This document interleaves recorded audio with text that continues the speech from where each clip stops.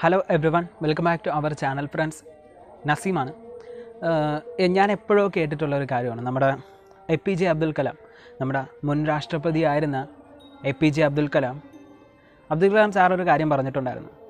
നിങ്ങൾ സ്വപ്നം കാണൂ. ആ ഒരു സ്വപ്നത്തിനെ സാക്ഷാത്കരിക്കാനായിട്ട് ശ്രമിക്കൂ എന്നുള്ളൊരു കാര്യം. ഇപ്പോൾ എല്ലാവരും ആലോചിക്കുന്നുണ്ടായിരിക്കാം അല്ല നീ എന്തിനാണ് ഇപ്പോൾ ഈ ഒരു സ്വപ്നത്തിനെ പറ്റിയിട്ട് A P J Abdul Kalam സാറിനെ പറ്റിയിട്ടൊക്കെ ഇവിടെ പറയുന്നത് എന്നുള്ളൊരു കാര്യം ചോദിച്ചു കഴിഞ്ഞാൽ ഒരു കാര്യം ഞാൻ പറയാം. ഹരിയാന എന്ന് പറയുന്നൊരു സ്ഥലം നമുക്ക് എല്ലാവർക്കും അറിയായിരിക്കും. എനിക്ക് തോന്നുന്നുണ്ട് നമ്മുടെ സുശാന്ത് സിംഗ് രാജപുത്ത സാറിന്റെ ആ ഒരു സ്ഥലവും ഹരിയാന ആയിരുന്നു എന്നുള്ളതാണ് എന്റെ ഒരു ഒരു ഒരു തോട്ട് എന്ന് പറയുന്നത്. കറക്റ്റ് ആയിരിക്കാം. ആണെങ്കിൽ അതൊന്ന് കമന്റിൽ ലീവ് ചെയ്യാം. ആൻഡ് അതുപോലെ തന്നെ ഈ ഒരു ഹരിയാനയിൽ പാനിപ്പട്ടിൽ എന്ന് പറയുന്നൊരു സ്ഥലമുണ്ട്. സോ ആ ഒരു പാനി പട്ടിൽ എന്ന് പറയുന്ന ഒരു സ്ഥലത്ത് നിന്നും ഒരു പതിനഞ്ച് കിലോമീറ്റർ മാറി കാദ്രി എന്ന് പറയുന്നൊരു സ്ഥലമുണ്ട്. ഒരു ഗ്രാമമുണ്ട്. അവിടെ ഒരു പതിനേഴ് അംഗങ്ങൾ അടങ്ങുന്ന ഒരു കൂട്ടുകുടുംബം. ഓക്കെ ഒരു പതിനേഴ് അംഗങ്ങൾ അടങ്ങുന്ന ഒരു കൂട്ടുകുടുംബത്തിൽ ആദ്യത്തെ മൂത്ത മകനായിട്ട് ഒരു വ്യക്തി ജനിച്ചിട്ടുണ്ടായിരുന്നു. നീരജ് ചോപ്ര എന്ന് പറയുന്ന ഒരു വ്യക്തി.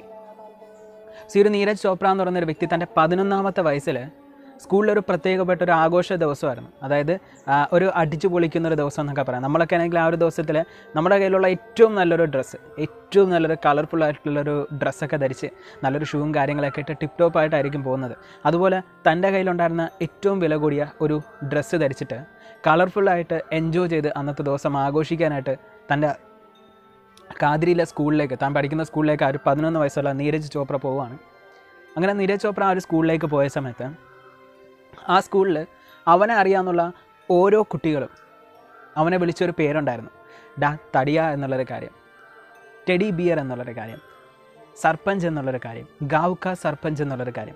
ഈ ഒരു ഗാവുക്ക സർപ്പഞ്ച് എന്ന് അവനെ വിളിക്കാനൊരു കാരണം എന്താണെന്ന് വെച്ച് കഴിഞ്ഞാൽ അവന്റെ ഗ്രാമത്തിൽ ഒരു തലവൻ ഉണ്ടായിരുന്നു. സോ ഹരിയാനയിലൊക്കെ അങ്ങനെയാണ്. ഒരു കമ്മ്യൂണിറ്റിക്ക് മൊത്തത്തിൽ എന്ത് ചെയ്യുന്നുണ്ട്? എന്ത് പ്രശ്നങ്ങൾ വന്നാലും സംസാരിക്കുന്ന രീതിയിൽ ഒരു ഗ്രാമത്തലവൻ കാണും. അയാൾ പറയുന്നതാണ് അവിടെ ബാക്കിയുള്ള ആൾക്കാരൊക്കെ എന്തിനാണെങ്കിലും ഒരു ഡിസിഷൻസ് മേക്ക് ചെയ്യാം നമ്മൾ ചില സിനിമയിലൊക്കെ കണ്ടിട്ടുണ്ടായിരിക്കും. തേന്മാവൻ കൊമ്പിലൊക്കെ ഉണ്ടെന്ന് എനിക്ക് തോന്നുന്നുണ്ട്. ഓക്കെ അപ്പോൾ ഗാവുക്ക സർപ്പഞ്ച് എന്ന് പറഞ്ഞ ഒരു പേഴ്സൺ ഇത്തിരി തടിച്ചിട്ടുള്ളൊരു നല്ല തടിച്ചിട്ടുള്ളൊരു വ്യക്തിയാണ്. അപ്പോൾ അയാളെ പോലെയാണ് നീരജ് ചോപ്രയും എന്നുള്ളൊരു കാര്യങ്ങൾ പറഞ്ഞിട്ട് പതിനൊന്ന് വയസ്സുള്ള നീരജ് ചോപ്രയുടെ അന്നത്തെ ഒരു വെയിറ്റ് എന്ന് പറയുന്നത് ഏകദേശം എൺപത്തി ഒന്നോ എൺപത്തി രണ്ടോ അപ്രോക്സിമേറ്റ്ലി അത്രമാത്രം കിലോ വെയിറ്റ് ഉണ്ടായിരുന്നു നീരജ് ചോപ്രയ്ക്ക്. അന്ന് തകർന്ന ആ ഒരു പയ്യൻ ആ ഒരു പതിനൊന്ന് വയസ്സുള്ള നീരജ് ചോപ്ര ഇന്ന് ഇപ്പോൾ ഓരോ ഇന്ത്യക്കാരന്റെ ഉള്ളിലും ഒരു തിളങ്ങുന്ന ഗോൾഡ് മെഡൽ നേടിയ ഒരു വ്യക്തിയാണ്. സിമ്പിളായിട്ട് പറയുകയാണെങ്കിൽ ടോക്കിയോയിൽ ഇപ്പോൾ ഒരു ഒളിമ്പിക്സ് നടക്കുന്നുണ്ട്. സോ ടോക്കിയോയിൽ നടന്ന ആ ഒരു ഒളിമ്പിക്സിൽ ജാവലിംഗ് ത്രോ എന്ന് പറയുന്ന ആ ഒരു വിഭാഗത്തിൽ രണ്ടാമത്തെ റൗണ്ടിൽ എൺപത്തി ഏഴ് point fifty three meter approximately അത്രയാണെന്ന് എനിക്ക് തോന്നുന്നുണ്ട്. എറിഞ്ഞ് ഇന്ത്യയുടെ നാഷണൽ ആന്തം ഇന്ത്യയുടെ നാഷണൽ ആന്തം ടോക്കിയോ ഒളിമ്പിക്സിൽ കേൾപ്പിച്ചിട്ടുണ്ടായിരുന്ന ആ ഒരു നിമിഷം. ഓരോ ഇന്ത്യക്കാരുടെയും ഉള്ളിൽ ആ ഒരു ഇന്ത്യയുടെ ആ ഒരു റിപ്പബ്ലിക് ഇന്ത്യയുടെ ആ ഒരു സ്നേഹം നമ്മുടെ ഉള്ളിലേക്ക് തുളുമ്പി വരുന്ന ആ ഒരു നാഷണൽ ആന്തം കേൾക്കുന്ന സമയത്ത് ഓരോ ഇന്ത്യക്കാരുടെയും കോരിത്തരിച്ച് നിൽക്കുന്ന ആ ഒരു മുടി അത് നിങ്ങൾക്കും ആ ഒരു അനുഭവം ഉണ്ടായിട്ടുണ്ടാകാമെന്ന് ഞാൻ ചിന്തിക്കുന്നുണ്ട്. സോ ആദ്യമായിട്ടാണ് റിപ്പബ്ലിക് ഇന്ത്യയ്ക്ക് ടോക്കിയോയുടെ ഒളിമ്പിക്സിൽ ജാവലിംഗ് ത്രോയിൽ ഒരു മെഡൽ ഒരു ഗോൾഡൻ മെഡൽ കരസ്ഥമാകുന്നതെന്നുള്ളൊരു കാര്യം പറഞ്ഞാൽ നിങ്ങൾക്കത് വിശ്വസിക്കാൻ പറ്റും. അപ്പോൾ അത് ഫസ്റ്റ് ടൈമാണ് ജാവലിംഗ് ത്രോയിൽ അങ്ങനെ ഒരു മെഡൽ കിട്ടുന്നത്. സോ അത് കിട്ടിയെന്ന് മാത്രമല്ല അത് കിട്ടിയത് അന്നത്തെ ആ ഒരു പതിനൊന്ന് വയസ്സുകാരൻ എല്ലാവരും കളിയാക്കി തടിയൻ എന്ന് പറഞ്ഞ് കളിയാക്കിയ ആ ഒരു പതിനൊന്ന് വയസ്സുകാരനായിരുന്നു എന്നുള്ളൊരു കാര്യങ്ങൾ പറഞ്ഞാൽ നിങ്ങൾക്ക് വിശ്വസിക്കാൻ പറ്റും. സോ അങ്ങനെ ഒരു ടേണിംഗ് പോയിന്റ് അയാളുടെ ജീവിതത്തിലുണ്ടായിരുന്നു. ഇന്ന് ഓരോരുത്തരും സന്തോഷിക്കുന്ന രീതിയിൽ ഇന്ത്യയ്ക്ക് ഒരു അഭിമാനമായിട്ട് മാറിയ നീരജ് ചോപ്രയുടെ ജീവിതമാണ് നമ്മളിന്ന് നോക്കാൻ പോകുന്നത്. ബട്ട് ഈ ഒരു ജീവിതം നോക്കുന്ന അതേ സമയത്തിന് നമുക്കുള്ളിലേക്ക് കടന്നു വരുന്ന ഒരു കാര്യമുണ്ട്. ഇതൊരു മോട്ടിവേഷണൽ സ്റ്റോറിയാണെന്ന് ഞാൻ പറയുന്നില്ല. ഇതൊരു ഇൻസ്പിറേഷണൽ സ്റ്റോറിയാണെന്ന് ഞാൻ പറയുന്നില്ല. പക്ഷേ കാരണം മോട്ടിവേഷനൊക്കെ വെറും റോങ് ആണ്. മോട്ടിവേഷൻ ഒന്നും ഇല്ല എന്നുള്ളത് വിശ്വസിക്കുന്ന ഒരു വ്യക്തിയാണ് ഞാനെന്ന് പറയുന്നത്. ബട്ട് ബട്ട് ഈ ഒരു വ്യക്തി നമുക്ക് പറഞ്ഞു തരുന്ന ഒരു കാര്യമുണ്ട്. അതെന്താണെന്നുള്ളതാണ് നമ്മൾ ഇന്നത്തെ വീഡിയോയിൽ ഡീറ്റെയിൽ ആയിട്ട് നോക്കാൻ പോകുന്നത്. ആ ഒരു വ്യക്തിയുടെ ജീവിതമാണ് നമ്മൾ ഇന്നത്തെ വീഡിയോയിൽ ഡീറ്റെയിൽ ആയിട്ട് നോക്കാൻ പോകുന്നത്. ആൻഡ് അതേ ടൈമിൽ തന്നെ നമ്മൾ ഓരോരുത്തരെയും ചിന്തിപ്പിക്കാൻ അല്ലെങ്കിൽ നമ്മൾ ഓരോരുത്തരും ചിന്തിക്കേണ്ട വളരെ തീക്ഷ്ണമായിട്ടുള്ള വളരെ ഗൗരവമായിട്ടുള്ള ഒരു വിഷയം കൂടെ ഞാൻ ഇന്നിവിടെ സൂചിപ്പിക്കാൻ ആഗ്രഹിക്കുന്നുണ്ട്. സോ ഇത്രയും കാര്യങ്ങളാണ് നമ്മൾ ഇന്നത്തെ വീഡിയോയിൽ ഡീറ്റെയിൽ ആയിട്ട് നോക്കാൻ പോകുന്നത്. ബട്ട് അതെല്ലാം നോക്കുന്നതിന് മുമ്പ് ആദ്യമേ പറയാനുള്ളൊരു കാര്യം. ടെഡി ബിയർ ആ ഒരു തടിയൻ തട്ടിയെടുത്ത ഒരു ഗോൾഡ് മെഡൽ ഉണ്ടല്ലോ. അതൊരു അഭിമാനം തന്നെയാണെന്നുള്ളത് തന്നെയാണ്. അപ്പോൾ എന്തായാലും നമുക്ക് നോക്കാം. ഓരോന്നായിട്ട്. അപ്പോൾ നമ്മൾ ഈ ഒരു നീരജ് ചോപ്ര എന്ന് പറയുന്ന ആ ഒരു ഇരുപത്തിമൂന്ന് വയസ്സുകാരൻ എങ്ങനെ ഇന്ത്യയെ മൊത്തത്തിൽ അഭിമാനം കൊള്ളിക്കുന്ന രീതിയിൽ ആ ഒരു gold medal javelin throw boys വിഭാഗത്തിൽ നേടി എന്നുള്ളൊരു കാര്യം നമ്മൾ നോക്കുന്നതിന് മുമ്പ് ആ ഒരു സ്റ്റേജിൽ അല്ലെങ്കിൽ ആ ഒരു പൊസിഷനിലേക്ക് അല്ലെങ്കിൽ ആ ഒരു സുന്ദരമായിട്ടുള്ള നിമിഷത്തിലേക്ക് എങ്ങനെ നമ്മുടെ നീരജ് ചോപ്ര എത്തിപ്പെട്ടു എന്നുള്ളൊരു കാര്യം പറയുന്നതിന് മുമ്പ് നീരജ് ചോപ്രയുടെ ജീവിതം നമ്മൾ നോക്കണം. ആ ഒരു ഇൻസ്പിറേഷണൽ സ്റ്റോറിയാണെന്നൊന്നും പറയുന്നില്ല. മേ ബി ഒരുപാട് ആൾക്കാർ കടന്നു പോകാൻ സാധ്യതയുള്ളൊരു ലൈഫ് ഒരു നോർമൽ കുട്ടിക്കാലം തന്നെയായിരുന്നു നീരജ് ചോപ്രയ്ക്ക് ഉണ്ടായിരുന്നത്. ഞാൻ നേരത്തെ പറഞ്ഞ ഹരിയാനയിലെ പാനിപ്പട്ടിൽ എന്ന് പറയുന്നൊരു ഗ്രാമത്തിൽ നിന്നും ഒരു പതിനഞ്ച് കിലോമീറ്റർ മാറിയായിരുന്നു നീരജ് ചോപ്രയൊക്കെ താമസിക്കുന്ന ഗ്രാമം ഉണ്ടായിരുന്നത്. കാദ്രി എന്ന് പറയുന്ന ഗ്രാമം. അവിടെ ഒരു പതിനേഴ് അംഗങ്ങൾ അടങ്ങുന്ന ഒരു കൂട്ടുകുടുംബത്തിൽ മൂത്ത മകനായിട്ടാണ് നീരജ് ചോപ്ര ജനിക്കുന്നത്. മൂത്ത മകനായിട്ട് ജനിക്കുന്നത് മാത്രമല്ല തന്റെ മുത്തശ്ശിക്ക് ഒരുപാട് ഇഷ്ടമുണ്ടായിരുന്ന ഒരു വ്യക്തി കൂടിയായിരുന്നു നീരജ് ചോപ്ര എന്ന് പറയുന്നത്. നീരജ് ചോപ്രയെ ഒരുപാട് മുത്തശ്ശി സ്നേഹിച്ചിട്ടുണ്ടായിരുന്നു. അതുപോലെ തന്നെ ഒരുപാട് ഭക്ഷണങ്ങൾ മുത്തശ്ശിക്ക് കിട്ടുന്നതാണെങ്കിലും അതുപോലെ തന്നെ വീട്ടിലുള്ള ഭക്ഷണങ്ങളാണെങ്കിലും ഒരുപാട് നീരജ് ചോപ്രയെ കഴിക്കാൻ കൊടുക്കാറുണ്ട്. ഒരു ചെറിയൊരു ഭക്ഷണ പ്രിയൻ കൂടിയായിരുന്നു നീരജ് ചോപ്ര എന്ന് നമുക്ക് പറയാം. അങ്ങനെ തന്റെ പതിനൊന്നാമത്തെ വയസ്സിൽ നീരജ് ചോപ്ര സ്കൂളിൽ പോകാൻ ഒരു ആഘോഷമൊക്കെ ഉള്ളൊരു ദിവസം നല്ല കളർ ഡ്രസ്സൊക്കെ ഇട്ട് സ്കൂളിൽ പോവാണ് ഞാൻ ആദ്യം പറഞ്ഞ കണക്ക്. അന്ന് നീരജ് ചോപ്രയുടെ വെയിറ്റ് എന്ന് പറയുന്നത് എൺപത്തി മൂന്നോളം കിലോ ഉണ്ടായിരുന്നു. ഒരു പതിനൊന്ന് വയസ്സുകാരന്റെ വെയിറ്റ് സോ അവൻ സ്കൂളിൽ പോകുന്ന സമയത്ത് സ്കൂളിലുണ്ടായിരുന്ന അവനെ അറിയാമെന്നുള്ള എല്ലാവരും അവനെ വിളിച്ചത് ടെഡി ബിയർ ഡാ തടിയ?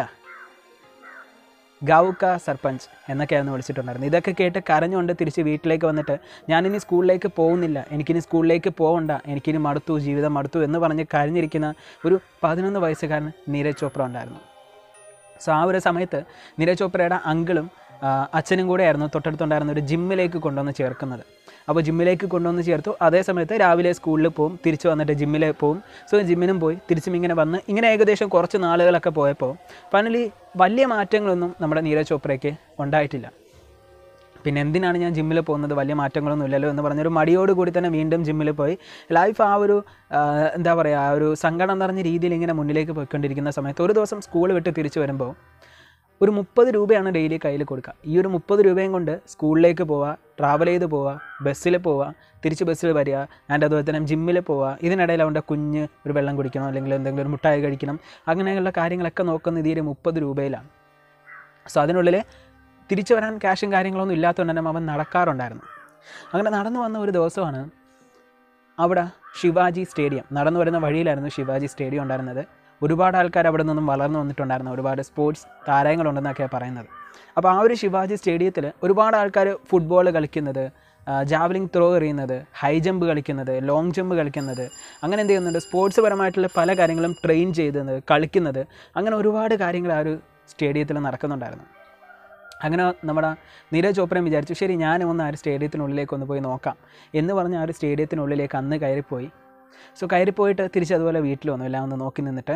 അന്നത്തെ വൈകിട്ട് പാനിപ്പട്ടിലുള്ള ജോലിക്ക് പോയിട്ട് വന്ന അങ്കിളിന്റെ കൂടെ അങ്കിളാണ് ബസ് ചാർജൊക്കെ എടുത്തത്. സോ അങ്കിളിന്റെ കൂടെ ബസ്സിൽ തിരിച്ച് വീട്ടിലേക്ക് വരാണ്. പിറ്റേന്ന് വീണ്ടും അതുപോലെ തന്നെ സ്കൂളിൽ പോവാണ് ജിമ്മിന് പോവാണ്. തിരിച്ച് വേഗം ഓടി വരാണ് ആ ഒരു ഗ്രൗണ്ടിലേക്ക്. ഗ്രൗണ്ടിലേക്ക് ഓടി വന്നിട്ട് അവിടെ ഉണ്ടായിരുന്ന ജാവലിംഗ് ത്രോയൊക്കെ എല്ലാ കാര്യങ്ങളൊക്കെ ഒന്നെടുത്ത് പരിശീലിച്ച് നോക്കി. ഒന്നിലും അങ്ങനെ ടച്ച് കിട്ടുന്നില്ല. സോ അങ്ങനെയാണ് നമ്മുടെ ജാവലിംഗ് ത്രോ പുള്ളിക്കാരന്റെ കണ്ണിലുടക്കിയത് അതിനുശേഷം ഒന്ന് ജാവലിംഗ് ത്രോ എറിഞ്ഞു നോക്കുകയാണ്. സോ കൊള്ളാലോ എന്ന് തോന്നി. എറിഞ്ഞപ്പോൾ അടുത്തൊക്കെ തന്നെ വന്ന് വീണത്. അതൊന്നും വലിയ കാര്യമായിട്ട് എടുത്തില്ല. അങ്ങനെ അവിടെ ഡെയിലി ആ ഒരു ഗ്രൗണ്ടിൽ വന്ന് കളിച്ച് വൈകിട്ട് തന്റെ അമ്മ അങ്കിളിന്റെ കൂടെ വീട്ടിൽ വന്ന് അങ്ങനെ ജീവിച്ചു പോകുന്ന നമ്മുടെ നീരജ് ചോപ്രയുടെ മുമ്പിലേക്ക് ഒരു വ്യക്തി പെട്ടെന്നൊരു ദിവസം പ്രത്യക്ഷപ്പെടുകയാണ്.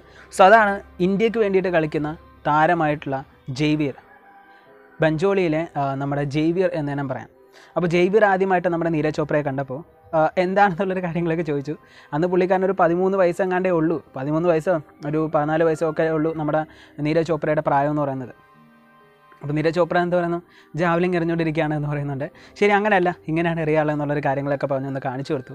സോ അതിനുശേഷം ജയ്വീർ നീരജ് ചോപ്രയുടെ ട്രെയിനർ ആവുകയാണ് ട്രെയിനർ ആയതിനു ശേഷം നമ്മുടെ പഞ്ചുകുലയിലെ നഴ്സറി സ്പോർട്സ് വിഭാഗത്തിൽ അവിടെ ഒരു നഴ്സറി സ്പോർട്സ് സ്കൂളിൽ ആദ്യമായിട്ട് സിന്തറ്റിക് ട്രാക്കിൽ ജാവലിംഗ് എറിയാണ് നമ്മുടെ നീരജ് ചോപ്ര.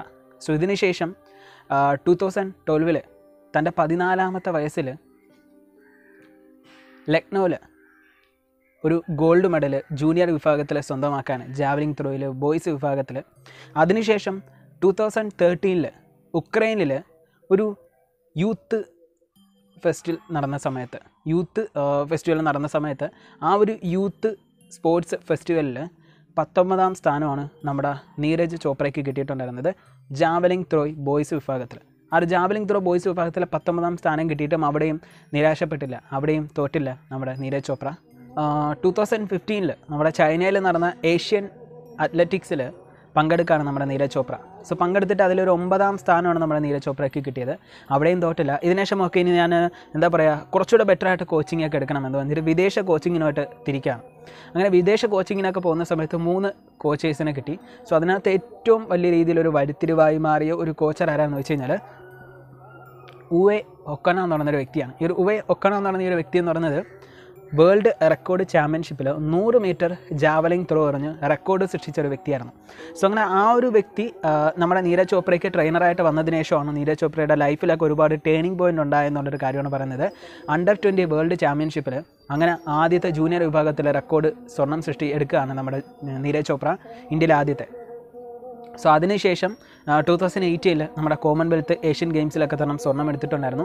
അങ്ങനെ ഈ ഒരു സന്തോഷത്തിന്റെയൊക്കെ ആ ഒരു കൊടുമുടിയിൽ നിൽക്കുന്ന ആ ഒരു സമയത്താണ് പുള്ളിക്കാരന്റെ കൈമുട്ടിന് പരിക്ക് വന്നത്. സോ കൈമുട്ടിന് പരിക്ക് വന്നതിന് ശേഷം ശരി അത് ഹോസ്പിറ്റലിലൊക്കെ പോയി ചെക്ക് ചെയ്ത് നോക്കി. അപ്പോൾ കൈക്ക് ഒരു ഓപ്പറേഷൻ വേണമെന്നുള്ളൊരു കാര്യം പറഞ്ഞു. ഒരു അത്ലറ്റിക്സിന് അല്ലെങ്കിൽ എക്സ്പെഷ്യലി ഒരു ജാവലിംഗ് ത്രോ ചെയ്യുന്ന ഒരു അത്ലറ്റിക്കിന് ഏറ്റവും ഇമ്പോർട്ടന്റ് ആയിട്ടുള്ള ഒരു കാര്യം തന്റെ കൈയാണ് തന്റെ ആരോഗ്യമാണ്. അത് ഏതൊരു സ്പോർട്സ് മാനായാലും ഏതൊരു വാട്ടവർ വാട്ടവറിറ്റീസ് ഏതൊരു വ്യക്തിയാണെങ്കിലും അവന്റെ ഏറ്റവും ഇമ്പോർട്ടന്റ് ആയിട്ടുള്ള ഒരു കാര്യം അവനൊരു ആരോഗ്യവാനായിട്ടിരിക്കണം എന്നുള്ളതാണ്. സോ ആ ഒരു കടമ്പ എന്ന് പറയുന്നത് വളരെ വലിയ രീതിയിലൊരു ഇഷ്യൂ ആയിട്ട് തോന്നിയിട്ടുണ്ടായിരുന്നു നമ്മുടെ നീരജ് ചോപ്രയ്ക്ക്. സോ എങ്കിൽ പോലും ഒക്കെ കൈ എന്തായാലും ഓപ്പറേറ്റ് ചെയ്തേ പറ്റൂ എന്ന് പറഞ്ഞപ്പോൾ ശരി ഓപ്പറേഷൻ ചെയ്യാമെന്ന് വെച്ചിട്ട് ഓപ്പറേഷൻ തിയേറ്ററിലൊക്കെ പോയി. ഓപ്പറേഷനൊക്കെ കഴിഞ്ഞു. അങ്ങനെ റെസ്റ്റൊക്കെ എടുക്കുകയാണ് റെസ്റ്റൊക്കെ എടുത്തിട്ട് വീണ്ടും ഒരു തിരിച്ചു വരവ് നടത്തുകയാണ്. ശേഷം ആ, ഒരു കൈമുട്ട് ഓപ്പറേഷൻ ചെയ്ത് കിടക്കുന്ന സമയത്ത് ടൂ തൗസൻഡ് നയന്റീനിലൊക്കെ തന്നെ നമ്മുടെ ദേശീയ ഓപ്പൺ ചാമ്പ്യൻഷിപ്പ് വേൾഡ് ചാമ്പ്യൻഷിപ്പ് ഒക്കെ വന്ന സമയത്ത് പങ്കെടുക്കാൻ കഴിഞ്ഞില്ല. അതിന്റെ ഒരു സങ്കടവും കാര്യങ്ങളൊക്കെ നന്നായിട്ട് നല്ല രീതിയിൽ തന്നെ നമ്മുടെ നീരജ് ചോപ്രയ്ക്ക് ഉണ്ടായിരുന്നു. ഇതിനുശേഷം ടു തൗസൻഡ് ട്വന്റിയിൽ ടു തൗസൻഡ് ട്വന്റിയിൽ കോവിഡ് പോസിറ്റീവായി ഒന്ന് ആലോചിച്ച് ആ ഒരു കോവിഡ് പോസിറ്റീവായി അതിനെ മറികടന്ന് ടു തൗസൻഡ് ട്വന്റി വണ്ണിൽ Indian grand premier national record നേരാണ് ഇന്ത്യൻ ഗ്രാൻഡ് പ്രീമിയറിൽ നാഷണൽ റെക്കോർഡ് നേടിയിട്ടുണ്ടായിരുന്നു. അഞ്ച് മത്സരങ്ങളിൽ തുടരെ എൺപത്തി മൂന്ന് മീറ്ററിലധികം എറിഞ്ഞ് നാല് മത്സരങ്ങളിൽ ഞെട്ടിച്ചിട്ടുണ്ടായിരുന്നു. സോ വമ്പനായിട്ടുള്ള റെക്കോർഡ് നാഷണൽ റെക്കോർഡ് നേടിക്കൊണ്ട് ഇന്ത്യൻ ഗ്രാൻഡ് പ്രീമിയറിൽ നിന്നും ഡയറക്റ്റ് അതിനുശേഷം നമ്മുടെ ടോക്കിയോയിൽ നടക്കുന്ന ആ ഒരു ഒളിമ്പിക്സിലേക്ക് പങ്കെടുക്കാനായിട്ട് വരാണ് ടു തൗസൻഡ് ട്വന്റി വണ്ണിൽ ഈ ഒരു ആഗസ്റ്റ് മാസം. സോ അങ്ങനെ ഒളിമ്പിക്സിന് നമ്മുടെ ടോക്കിയോയിലേക്ക് എത്തി. ആ ഒരു കാദ്രി എന്ന് പറയുന്ന ഗ്രാമത്തിലുള്ള ജനങ്ങളെല്ലാവരും നീരജ് ചോപ്രയ്ക്ക് വേണ്ടിയിട്ട് പ്രാർത്ഥിച്ചുകൊണ്ടിരുന്ന ഒരു നിമിഷം.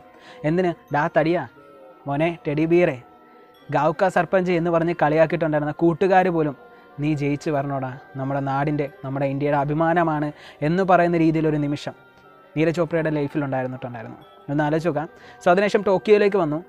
ബോയ്സ് വിഭാഗത്തിലെ ജാവലിംഗ് ത്രോയിൽ അങ്ങനെ നമ്മുടെ നാഷണൽ ഒളിമ്പിക്സിൽ ഗോൾഡ് മെഡൽ സ്വന്തമാക്കുകയാണ് സ്വന്തമാക്കിയെന്ന് മാത്രമല്ല നമ്മുടെ അവിടെ വിജയിക്കുന്ന വ്യക്തികളുടെ നാടിന്റെ നാഷണൽ ആന്തം അവിടെ പ്ലേ ചെയ്യുമായിരുന്നു സോ നമ്മുടെ ഇന്ത്യയുടെ നാഷണൽ ആന്തം അവിടെ പ്ലേ ചെയ്തിട്ടുണ്ടായിരുന്നു.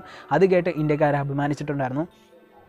ഇതാണ് ഇതാണ് നീരജ് ചോപ്രയെ കളിയാക്കിയവർക്ക് എതിരെ നീരജ് ചോപ്രയ്ക്ക് കൊടുക്കാൻ പറ്റിയ ഏറ്റവും വലിയൊരു മറുപടി എന്ന് പറയുന്നത്. ഇത് നീരജ് ചോപ്രയുടെ ലൈഫ് മാത്രമല്ല ഇതുപോലെ ഒരുപാട് ആൾക്കാരെ നമുക്ക് ചുറ്റും കളിയാക്കപ്പെടുന്ന ആൾക്കാരുണ്ട്. സോ നിങ്ങൾ ഇനി ആരെങ്കിലും കളിയാക്കാൻ ശ്രമിക്കുകയാണെന്നുണ്ടെങ്കിൽ ഒരു നിമിഷം ഒന്ന് ചിന്തിച്ച് നോക്കാം. ആ കളിയാക്കുന്ന വ്യക്തികൾ നിങ്ങൾക്ക് വളരെ വലിയ രീതിയിൽ ഞെട്ടിക്കുന്ന ഒരു മറുപടി തരാൻ ഒരു സാധ്യതയുണ്ട്. സോ ഒരിക്കലും ആരെയും എവിടെയും ഏത് സിറ്റുവേഷനിലും കളിയാക്കാൻ പാടില്ല എന്നുള്ളൊരു ബേസിക് ആയിട്ടുള്ള ഫാക്റ്റ് പറഞ്ഞുകൊണ്ട് ഇനി പറയാനുള്ളൊരു കാര്യം എന്താണെന്ന് വെച്ച് കഴിഞ്ഞാൽ ഇതൊരു മോട്ടിവേഷനോ ഒരു ഇൻസ്പിറേഷണൽ സ്റ്റോറിയോ ഒന്നുമല്ല. ഇതൊരു ഇൻസ്പിറേഷൻ സ്റ്റോറിയാണെന്ന് ഞാൻ പറയില്ല. ഇതൊരു മോട്ടിവേഷണൽ സ്റ്റോറിയാണെന്ന് ഞാൻ പറയില്ല. ബട്ട് ഇവിടെ ഞാൻ A P J Abdul Kalam പറഞ്ഞ ആ ഒരു കാര്യം പറയാണ്. സ്വപ്നം കാണുക. നിങ്ങളുടെ ഉള്ളിൽ ആഗ്രഹം എന്താണെന്നുള്ളത് ഫൈൻഡ് ചെയ്യുക. അതിനു വേണ്ടിയിട്ട് പ്രയത്നിക്കുക. കിട്ടുമോ കിട്ടാത്തതോ അത് പിന്നത്തെ കാര്യമാണ്. ബട്ട് നിങ്ങൾ ശ്രമിക്കുക എന്നുള്ളൊരു ബേസിക് ആയിട്ടുള്ള ഫാക്റ്റ് പറഞ്ഞുകൊണ്ട് ഇന്ന് മുതലൊന്ന് ശ്രമിക്കാൻ ശ്രമിച്ചു നോക്കാം. ആൻഡ് അതുപോലെ തന്നെ നിങ്ങൾ ശ്രമിക്കുമ്പോൾ ഈ പറയുന്ന ഫാറ്റായിട്ടുള്ള ആൾക്കാരാണ് അല്ലെങ്കിൽ ഫിറ്റായിട്ടുള്ള ആൾക്കാരാണ്. ഇവിടുത്തെ ഒരു ബോഡി ഷേമിങ് കാര്യങ്ങളൊന്നും ഞാൻ ഇതിനകത്ത് ഉൾപ്പെടുത്തുന്നില്ല.